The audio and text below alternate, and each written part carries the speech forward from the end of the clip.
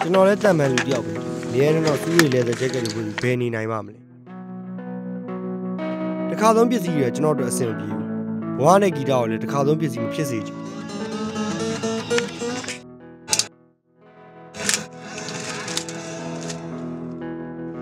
ကျွန်တော်ကဟောင်းနှမ်းတော့ရင်ပဲရိုးရှင်းပြီးအသုံးဝင်နေတဲ့ပစ္စည်းတွေကိုကြိုက်အဲ့ဒါကြောင့်ကျွန်တော်ပန်ရော့ကိုယူသွမိတာပြီးတော့အရာရာကိုယ်တိုင်ဖန်တီးရတာကိုကြိုက်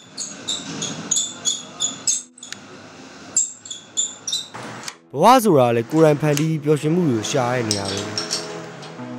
အမိတ်တွေစီးရန်တွေအကောင်းတယ်မှန်ပဲစွန့်စားခြင်းတွေကြောက်တော့